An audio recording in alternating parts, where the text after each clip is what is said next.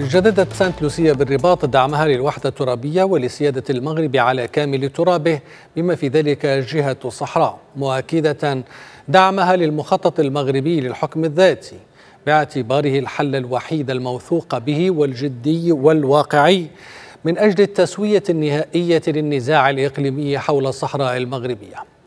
وتم التعبير عن هذا الموقف في البيان المشترك الموقع عقب مباحثات وزير الشؤون الخارجية والتعاون الإفريقي والمغاربه المقيمين بالخارج ناصر بوريطة مع وزير الشؤون الخارجية والتجارة الدولية والطيران المدني والجالية.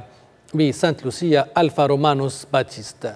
في هذا الصدد أشادت سانت لوسيا بتنامي التوافق الدولي والدينامية التي يضفيها جلالة الملك محمد السادس على مخطط الحكم الذاتي وسيادة المغرب على صحرائه حيث يندرج موقفها في هذا الإطار.